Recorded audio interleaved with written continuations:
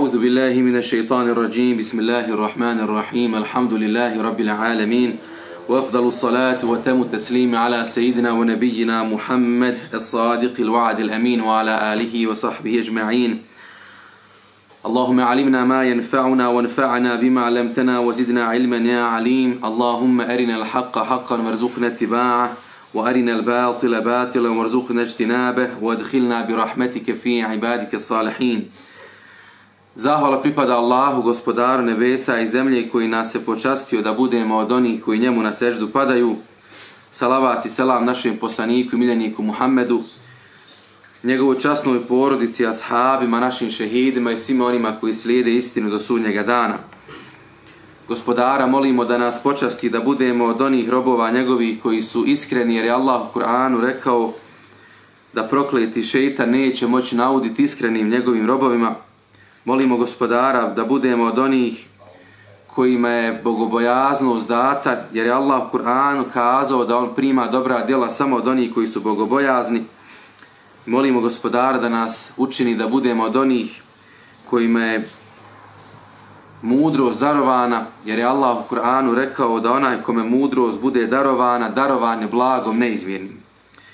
Draga braćo i poštovane sestre, dragi prijatelj našeg tabačkog mešći, da mi nastavljamo dalje da se družimo sa hadisima poslanika sallallahu alaihi wa sallam u nastojanju da njegov stil života prenesemo koliko je to moguće u našu svakodnevnicu i u ono što će biti naš način ponašanja, jer zaista nas je poslanik sallallahu alaihi wa sallam naučio meni najbliži na sudnjem danu bit će oni koji se najljepše ponašaju jedan je velikan kazao da osvanim kao neko ko je grijeh uradio, ali da imam lijepo ponašanje.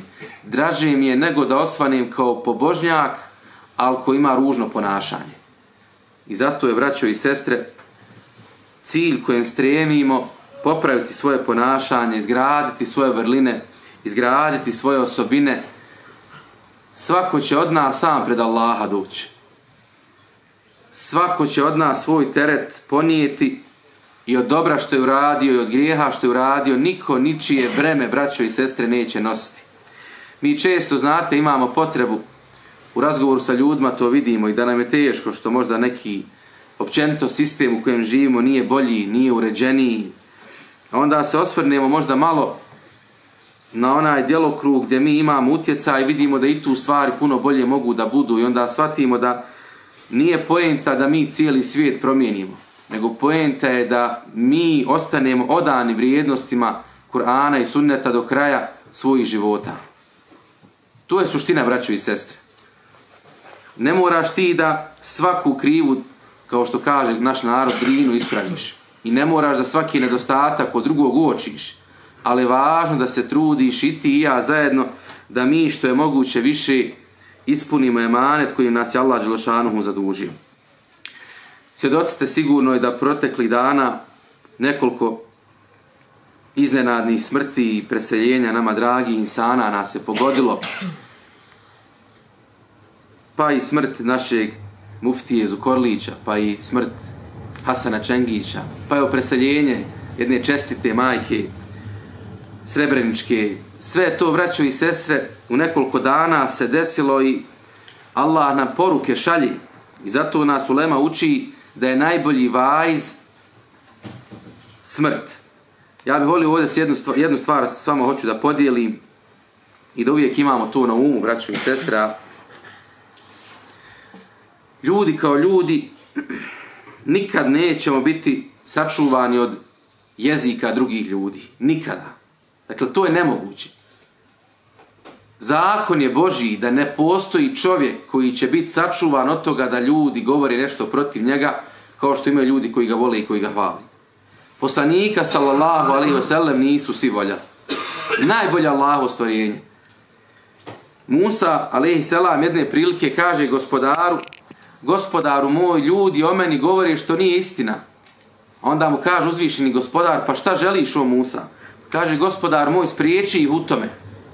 A onda kaže uzvišeni gospodar njemu o Musa, ja sebi nisam dao tu privilegiju, kako da je tebi dadnim? Braćo i sestre, ljudi lažu na Allaha Đelšanu. Ljudi nemaju lijepo mišljenje o gospodaru nebesa i zemlji. I zato prestani očekivati da te svi vole, da te svi poštuju, da te svi cijene i pogledaj kakav si kod onih čestitih Allahu i robova. A nisu svi odan iskreni Allahu i robovi.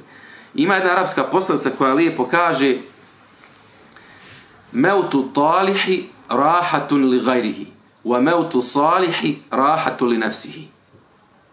I neko ovako otprilike bude, bude nešto što nam može biti smjernica. Kaže ova poslovica, kad umre dobar čovjek, on se odmori. A kad umre loš čovjek, drugi se ljudi od njega odmori.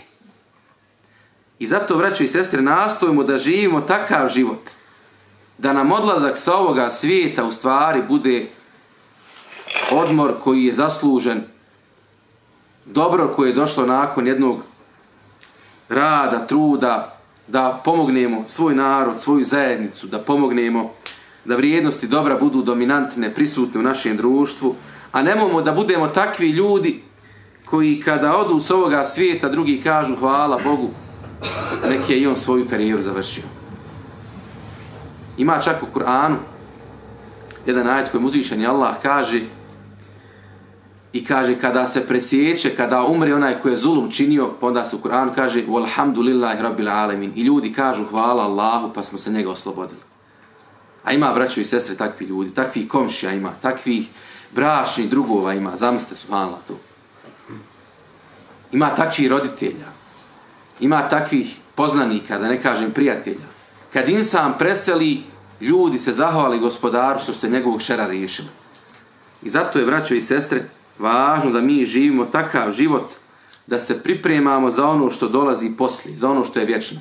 Ima u Kur'anu jedan važan, lijep detalj koji nam može pomoći da nekad svoje svakodnevne izazove pre, prevaziđemo u suri Vel Fajr kaže gospodar svih svjetova da će čovjek kazati Jakulu ja lejteni kademtu li hajati kazat će čovjek koji nije znao za gospodara, kaže, kamo sreće da sam se za život pripremao.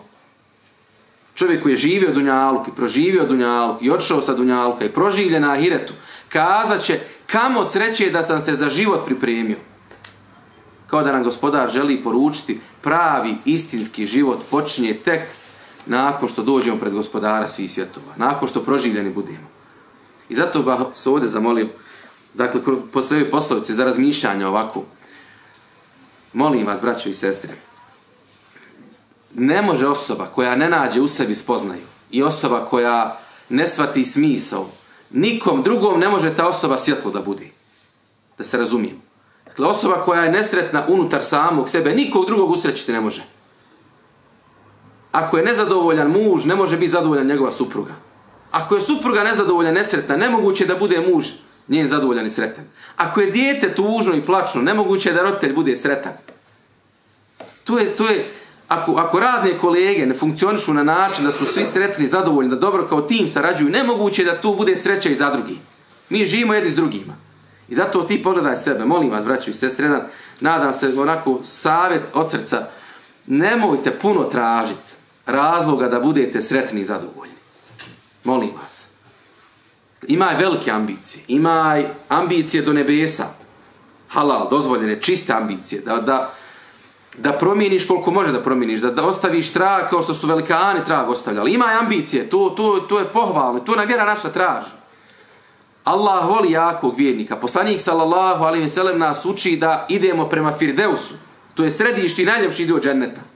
Nije nas on učio tražite mjesto iza vrata u džennetu. Ne nego to nas je neko ko je naš mentalni sklop ograničio, počeo da uči da mi je u džennet, pa makar iza vrata. Ne može musliman tako razmišljati. Jer nas vjera naša uči da su stanovnici dženneta pobjednici. Poslanik Ali Salatu Selam kaže tražite najljepši dio dženneta. Uči nas tome naša vjera. Ali u isto vrijeme, u isto vrijeme, nemojte da vam puno treba za sreću. Molim vas, to je znak bogobojaznog srca. I s druge strane, nemojte da lahko i brzo postanete nezahvalni i nezadovoljni. Ovo posebno mladi ljudima govori. Ako uspiješ odgojiti svoje srce, da ti ne treba puno za sreću zadovoljstvo, da se postidiš pred Allahom zbog jedne blagodati koju vidiš, I s druge strane, ako se uspiješ odgojiti da te neko iskušenje ne odvede u nezahvalnost brzo i lahko, znaj da imaš bogobojazno srce. A mi smo danas obrnuli stvari. Nemoguće insana dovesti u stanje sreće, zadovoljstva, osmijeha, radosti zbog života. A s druge strane, malo se desi nešto i odmah insan ode u nezahvalnost. I zato, braćo i sestre, pravi život je život koji živimo tamo. Ovo ne znači da ćemo ovaj život preskočiti, ne. Ovo vam govorim da ovaj život pojednostavljeno živimo. Onaj ko svoje srce ne zaveže za dunjaluk, živeće na ovom svijetu, svjestan prema kome, prema čemu ide. I zato, braćo i sestre, svaka smrt, svaki, svaku, svaki odlazak bilo koga od naših velikana, od naših poznanika, od naših roditelja, to nam je podsjetnik, braćo, da su mi za vječni svijet stvoreni. Ne za prolaze, nego za vječni svijet. I onda kada to insan zna, smanji nadu. I pogledajte, braćo i sestre, što više smanjiš nadu, više sreće uđe u tvoju dušu. Što više povećaš nadu, živeća još 10, još 20, još 50, još 100 godina, praviš neki plan, zaboravljajući da se to sve preko noći može promijeniti. To je problem. Pravi ti plan, ali isto vrijeme srce ne viješ za taj plan. Ako se nešto izokrijene, ako se nešto promijeni, budi zadovoljan sa Allahom. Na tome se, braćo i sestre, može insan odgojiti. Na tome se insan može, na tome se insan, na to vrijednosti se može insan odgojiti i može da bude takav i zato mi je zaista važno da naši su stari to kazali ovako, živi život za jednu dobru dženazu, tako su kazali. Ali ovo vam govorim u smislu da što manje hakova ponesemo na svojim leđima, da što više dobra iza nas ostane, a najveći uspjeh je, braćo i sestre, vjerujte, da insan ode sa ovoga svijeta i da mu odlazak sa ovoga svijeta u stvari bude ovaj rahatluk za njega samog. E ta, to ko, ko spozna, to ko postigni, vjerujte, braćo i sestre, ja sam nedavno bio s jednim čovjekom i čovjek je imao neke velike planove, neki me je splet okolnosti doveo do tog čovjeka sa takvim entuzijazmom, sa takvim žarom je pričao o tome i nije to ništa zabranjeno što on planira, ali malo je tu spominjanja Božijeg imena bilo. I Allah je dao takvu bolest tom insanu da mu više ništa od tih planova nije bitno. I tada čovjek spozna, subhanallah, koliko je relativno sve što mi radimo. I zato, braćo i sestre, molim vas, srce ne vezat za ovo. Jer na dunjaluku čovjek pati onoliko koliko se vezao za dunjaluk. Ja molim Allah da nas pomogne da živimo častno, dostojanstveno, da on bude zadovoljan sa nama, da nam ne treba puno da budemo sretni. A isto tako da nas mala teškoća ne učini nezahvalni. To je veliki uspjeh kojeg možemo i moramo da postignemo. Molim Allah da nas na tom putu pomogne. Amin. Rabbel Da proučimo dovu Fatihu pred duši mama Buhariću, hadijsku zbirku čitam. Redan lillah ta'ala al-Fatiha.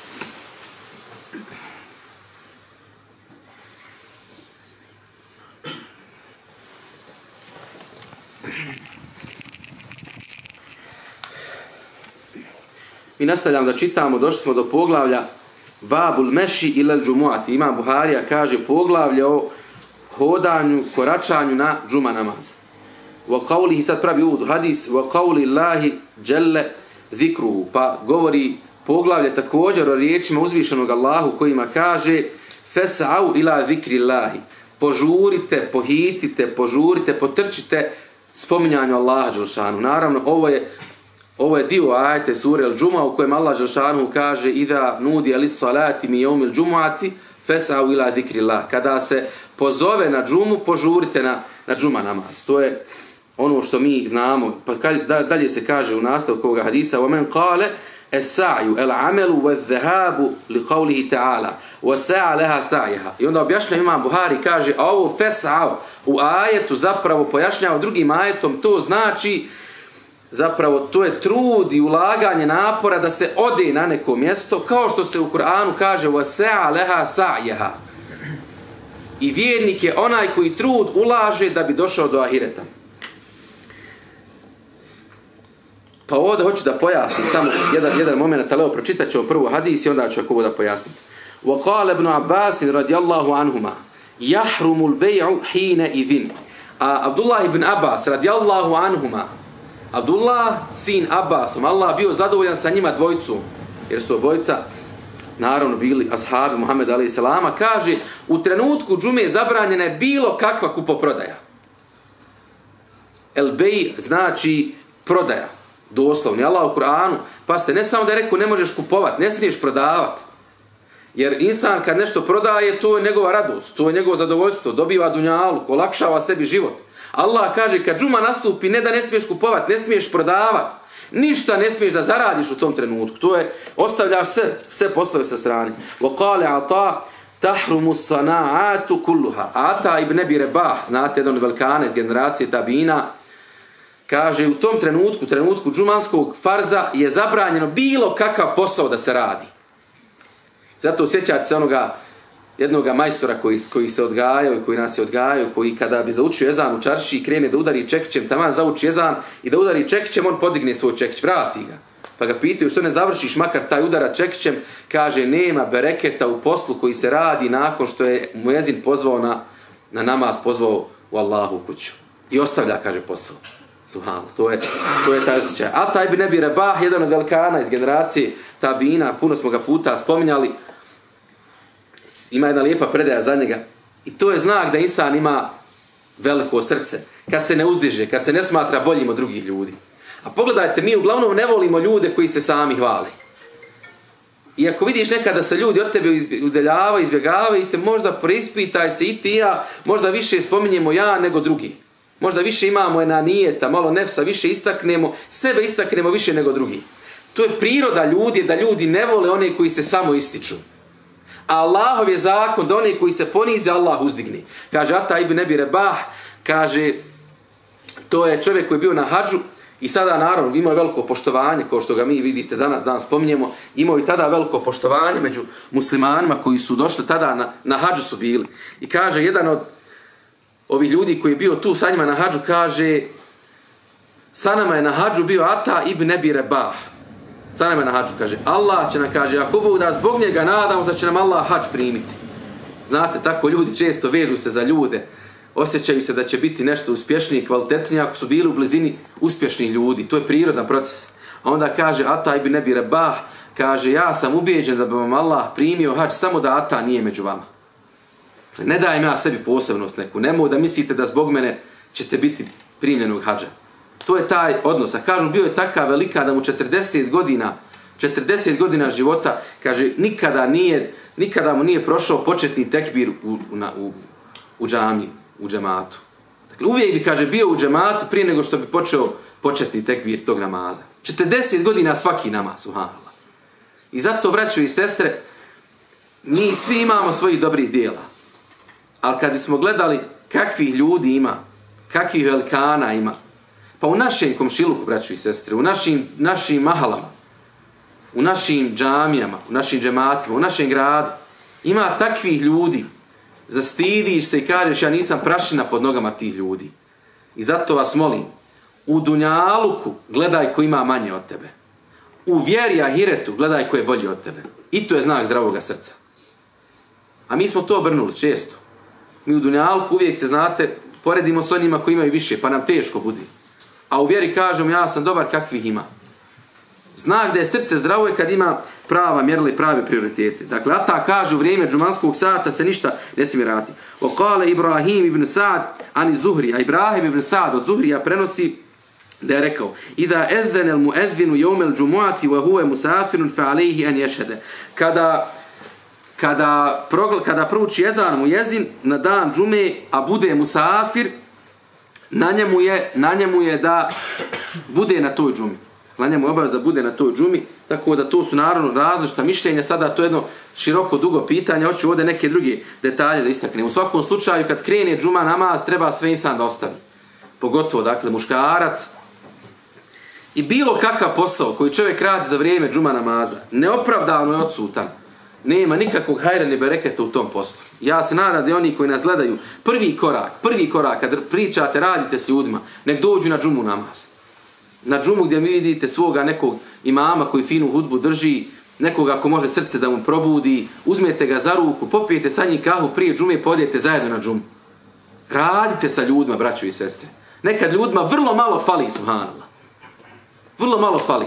Ja sam danas bio sa čovjekom koji mi kaže, prije godinu dana sam Allahu, uz Allahu pomoć izbacio alkohol iz svoje radnje. Ja vidim da je on, u njegovim očima ti vidiš da je on tako zadovoljan, tako sretan, da mala taka bereke dao. A onda kaže imam svoga prijatelja, pasite sad ovo, ideš korak dalje, kaže imam kaže prijatelja, kolegu, molim Allah da mu pomogne da i on to tako uradi. Znak da imaš iskreno srce kada drugim ljudima oko sebe želiš dobro. Da ono dobro koje tebe snašlo, želiš i njih da snađi. Ne govoriš samo hoću ja da se samo spasim, samo sam ja bitan, nego ima želju da svi ljudi krenu putem dobra. Da se i tvoj komšija taj spasi, da se i tvoj taj kolega spasi. Ako ti ideš na džumu i njega povuci slobodno.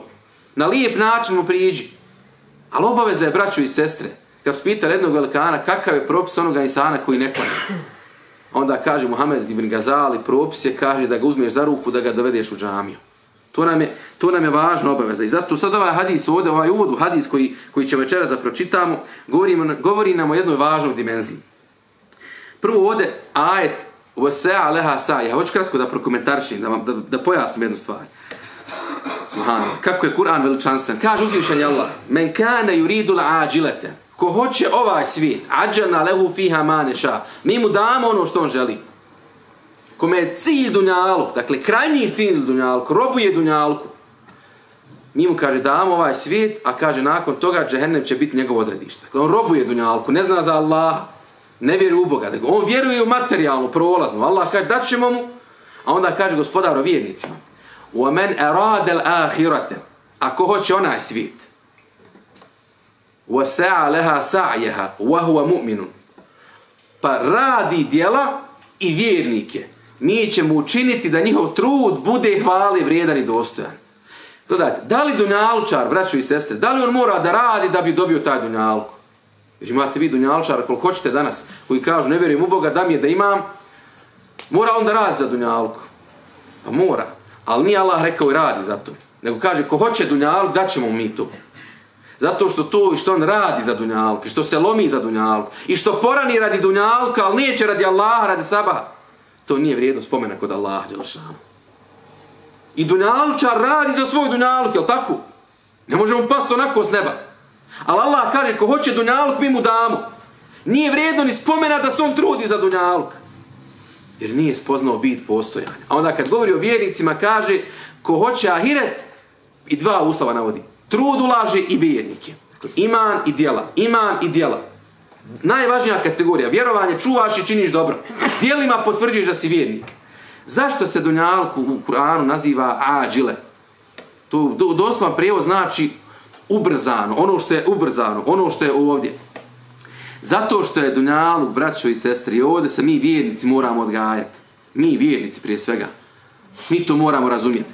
Zato što je Dunjaluk, braćo moja, Dunjar je Dunja, Dunjaluk. To je zapravo ženski rod, ženski rod od riječi Edna, što znači nešto što je donje, nešto što je blisko, nešto što je inferiorno, slabo, puno je prijevoda sada. Edna znači nešto u naj, u nekom smislu što je donje, što nama blisko, što je slabo, inferiorno i kako god hoćete.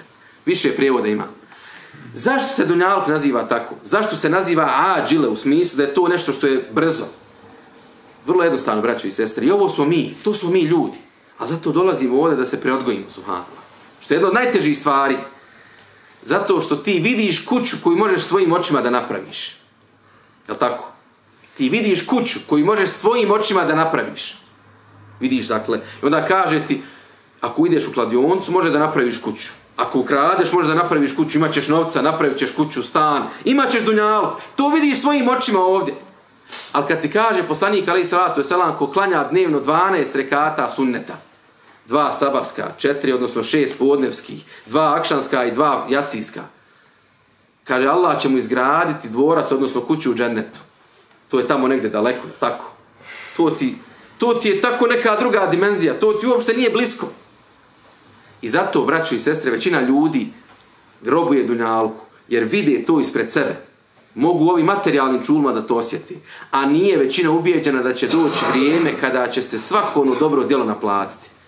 Banalan primjer. Kada bi neko rekao za svaki salavat kojeg proučiš dobit ćeš marku. Ovdje po čarši, jel tako, zujalo salavata? To bile pčele radilce samo.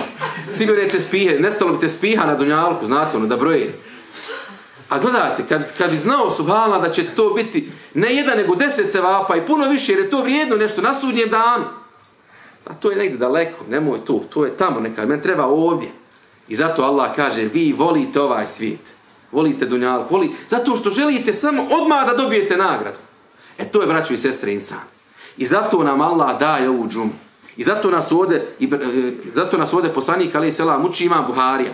Kaže, kad dođe vrijeme džume, sav dunjaluk ostavite. Sve ostavi za sebe, Allah se okreni.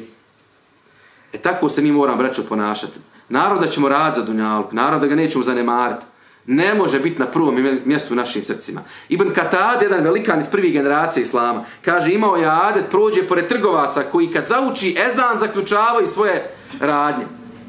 Zaključavaju radnje. I krenu u džamiju da obave namaz u prvom safu. I kaže njima Ibn Katade, subhanallah, kaže, o trgovci koji radite sa ljudima, zarađujte na halal način i ničiji hak nemojte ugroziti. Ni svoga radnika, ni svoga mušterije. A onda vam neće škoditi i ako budete klanjali u zadnjem safu u džami. Jel razumijete, braćo i sestre? Poenta vjere, poenta džume, poenta namaza, jeste da me odgoji, da me nauči. Dakle, dunjalke jeste važan, dunjalke je bitan. Ali ne mogu ja zbog dunjalka da tuđi hak pogazim. Ne mogu nečiju čast da ugrozim. Da nečije pravo uzmem. Ne mogu ja zbog dunjalka da lažim. Ne može mi to biti najveća briga. I onda nas ovim hadisom ovde, poslanik Ali Salatu Selam, i ulema nas podučava ko bude na to spreman. Ko bude na to spreman.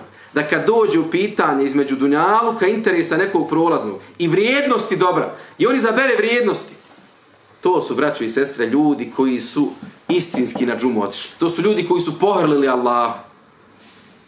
A mi smo svaki dan na takvim iskušenjima. Svaki dan. Svaki dan, svaka situacija. Kad dođeš na fakultet i treba da prepisuješ, može da prepisuješ. Subhanallah, pa gledajte, gledajte kakav smo mi narod, pitamo se zašto je stanje kako jest. Pa moje dijete je drugi razred osnovne škole. Oni već u tom dobu govore o puškicama i džonovima. Dakle, već od malena neko njih uči, stariji, mlađi, stariji brat, stariji kolega, roditelj možda. Snađi se, sine, na zabranjen način. Jara. I znam se živi tako 5, 10, 15 godina. I sutra treba da bude pošten radnik, jel da? Kako, kome su? Pa ne da Allah, braću i sestre. Mi nekada relativiziramo neke stvari, znate? Sitne neke stvari. A onda se pitamo gdje smo bereket izgubili. Ako mi pripada moje, ne dam nikome na dunjalku ako je moje. Ali ako nije moje, nikome ne može natjera da to uzmim. I zato nam Allah Đelšanu daje džumu da nam bude orijentir, da nam bude smjernica. Dunjaluk volimo jer je tu pred nama. A zaboravimo zapravo da ono što radi Allaha uradimo doći će. A nama to ubjeđenje, braćo, treba. Kad biraš između vrijednosti, kad biraš između interesa. Da ne poklikneš ovom interesu. Bilo šta može to biti prepsivanje. Može to biti da ti neko nešto dadne, da bi ti nešto uradio što nije u redu. Može to biti nekada da izdaš nekog prijatelja zato što bi se, da sačuvaš sebe ili da sačuvaš nekog drugog. Ja sam neki dan svedočio, znam istinu i vidim čovjeka svojim očima i čuje svojim očima kako laže, ja znam istinu. Nema trun poštovanja taj čovjek u mojim očima. Ne, ne, ne da Allah, ne može. Ponižen si pred nama i pred Allah, da te Allah samo uputi. Pred ljudima je ponižen ostao. Znamo istinu.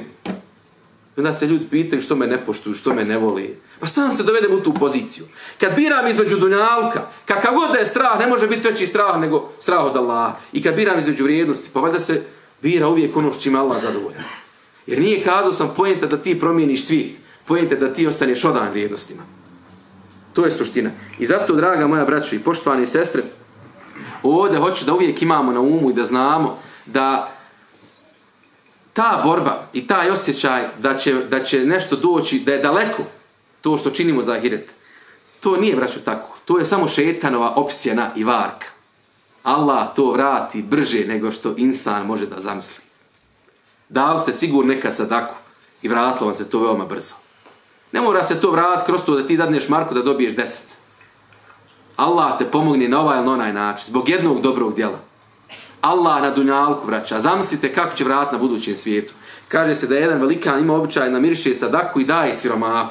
Kaže, dadne mu je ovako, spusti je sa vrha. Ne daje mu do, da kaže da spusti ruku, nego sa vrha podigne svoju ruku i dadne mu. Kaže, zašto daješ sadaku ovako sa visini? Kaže, želim da ga, da ga ne ponizim, želim da ga naučim da je dostojanstvo u tome, da i on svoju ruku digne, da izađe iz te situacije.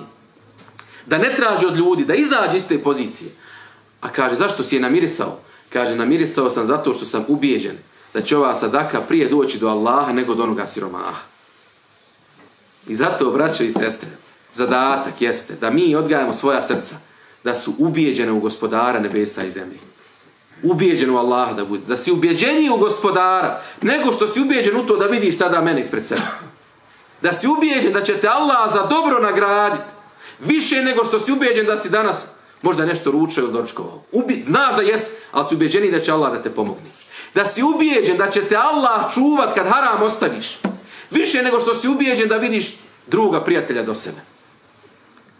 To je braćo zadatak. To je izazov. To je vjera subhanallah. I zato Allah u Kur'anu kaže na samom početku Kur'ana da je odlika oni koji će, kojima će Kur'an uputa biti wa bil ahirati hum.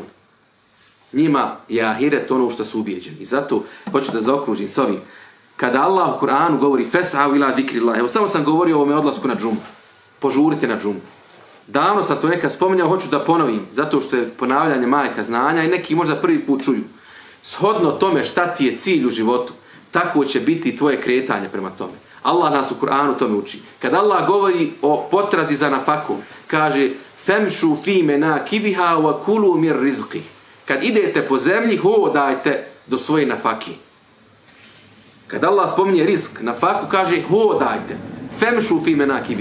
Kad Allah govori o namazu, o džumi, fesau ila zikrillah. Požurite, požurite na džumu namaz. To je druga dimenzija. Dakle, treća dimenzija, kad Allah govori o džennetu, wasari'u ila magfiratin min rabbikum wa jannatin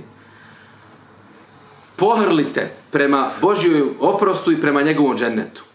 A onda kad Allah govori o spoznaj njega uzvišenu, kaže fefirru ila Allah, bježite Allah.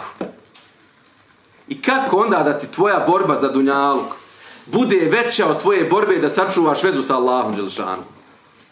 Nemoguće, braćo i sestre, ne, nemoguće da ti tvoja borba za dunjaluk bude veća od tvoje borbe da čuvaš vezu sa Allahom Đelšanu. Nikad to ne smiješ dopustiti. Jer se za dunjalkom ide, ali se hoda. A prema Allahu trčiš. Hrliš prema Allahu. Kad ljudi potraže utočište kod ljudi, ti ga potraži kod gospodara.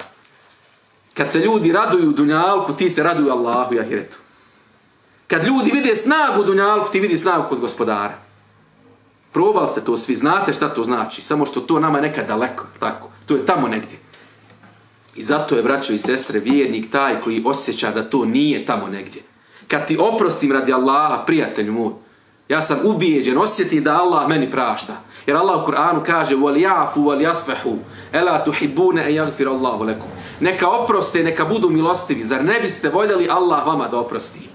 Kada onu sržbu u sebi bračni druže, kada je ti sačuvaš, govori muževima, suprugama, roditeljima, djeci, članovima porodica, kada je sačuvaš u sebi, Nije ti lako u tom trenutku. Sačuvat ćeš svoju kuću, svoju porodicu. Jer nekada ljudi zbog sitnice, nekad urade ljudi štetu u jednoj sekundi i vječno si im treba štetu da popravi. Je tako? Jedna sekunda afekta, srđbe, ljutnije, teške riječi, jedna sekunda, vječnost treba ne mogu da popravi. A znam se da je hrlio Allahu više nego što hrli svome nefsu. I onome svome egu koji kaže uradi ovako. Tvoja mora da je zadnja. Iako se zna da je njena zadnja uvijek u svakom slučaju. Ali braćo i sestre, hoću da imate uvijek na umu, naravno, šalim se malo, ali pojente, braćo i sestre, molim vas, molim vas, odgajamo svoja srca. Neće niko doći da nas učini bolji. Neće niko doći da nas izvuče iz neke situacije. Neće niko doći da studira za tebe. Ako studiraš, reci, ovo je moj plan, ima da ga završim. Ili reci, ja ne mogu, idem da se bavim nečim drugim u životu. Ti treba da svoj život organiziraš. Neće niko doći za tebe da kaže, evo te sine posao, hoćeš ti da radiš, da budeš ovde, da imaš platu, beneficije i sve. Nego ćeš ti da se boriš tu gdje jesi da bi se dokazao da ideš naprijed i dalje. Koliko god da je bolno, život je nepravedan, pun iskušenja. Ali tebe tvoja vera nauči da ti budeš stabilan, da budeš organiziran i da ti dunjalk ne bude najveća briga. Na dunjalku hodaš i ideš prema na faki. Ali prema Allahu i vezi sa Allahom hrliš, žuriš, letiš. Ne daš to ni za šta na svijetu budimo, braćo i sestre, jednostavni. Nek nas naša džuma odgoji, nek nas naše namazi odgoje. Nedavno sam prošao jednu lijepu rečencu. Fudajl ibn Iyad, došao mu je čovjek jedan i kaže ovaj čovjek je od tebi govorio nešto ružno. Kazao je nešto ružno od tebi. I gledajte, braćo i sestre, kad, kada, kad ideš na džumu, ne samo zato što je to red neki, ili da iskoristiš pauzu, zato što eto ideš, nego zato što promišljaš što je Allah rekao, Fes'a vila zikrillah. Idite na to spominjanje Allaha, požurite na, na džumu, nema nikakvog posla dok treba džuma, to je vaše odvajanje od dunjaluka, i mentalno i fizičku. Kaže Fudajl ibn Iyad, da kad se odgojiš na tim vrijednostima, došao i govori, kaže njemu učenici, ovaj čovjek govori nešto ružno o tebi. A kaže Fudajl ibn Iyad, kaže, ako je, kaže, istina to što je on o meni kazao, molim Allaha da mi oprosti. A kaže, ako nije istina, ako je slagao, molim Allaha da njemu oprosti. E tako žive velikani, braći i sestri. Tako žive ljudi koji se ne opterećuju sa prolaznim stvarima postaviš cilj, ideš prema njemu. A najveći cilj, naš braćo i sestre, mora da bude da na nikad ne dopustimo da zbog dunjalka koji je prolazna kategorija izgubimo neku vrijednost koja je vječna kategorija, vrijednost koju nas uči Kur'an i Sunnet. Ja molim Allah da nas na tom putu pomogni, da nam bereketa podari, da bude zadovoljna sa nama i da budemo od onih ljudi o kojima će se dobro pričati nakon što s ovoga svijeta odemo. Amina, rabbil alamin, da proučimo dovu. Euđu billahi mine šeitanir rajim. Bismillahirrahmanirrahim. Gospodar naš počast nas, nemoj nas poniziti. Oprosti nam grijeha, nemoj nas kazniti. Molimo te, gospodar, za džennet i svako djelo koje džennetu približava. Allah zaštiti nas od džehennema i svako djela koje džehennemu približava. Molimo te, gospodar, da budemo od onih robova tvojih s kojima se ti zadovoljan. Molimo te, gospodar, da nam dunjalku ne bude najveća briga. Allahu daj nam dunjalku naše ruke, ali nemoj da bude u našim srcima. Molimo te, gospodar, da budemo od onih robova tvojih s kojima je ahiret i tvoje zadovoljstvo najveća briga.